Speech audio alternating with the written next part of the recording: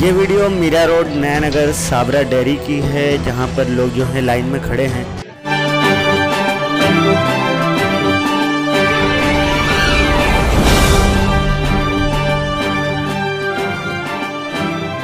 पेश है आपकी नज़र एसएमएस मीडिया की खबर।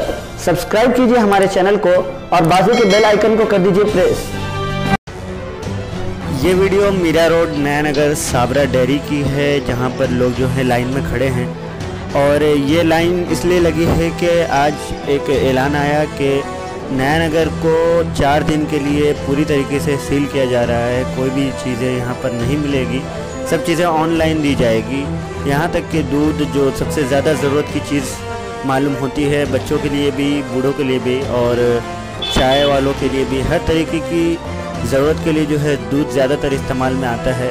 तो उसको लेकर जो है यहाँ पर काफ़ी लोगों के अंदर परेशानी पैदा हुई और वो लेने के लिए लाइन के, लाइन में लग गए हैं और नीचे उतर आए लेने के लिए नीचे उतर आए हैं और लाइन में लगे हुए हैं। आप देख सकते हैं काफ़ी लंबी लाइन है।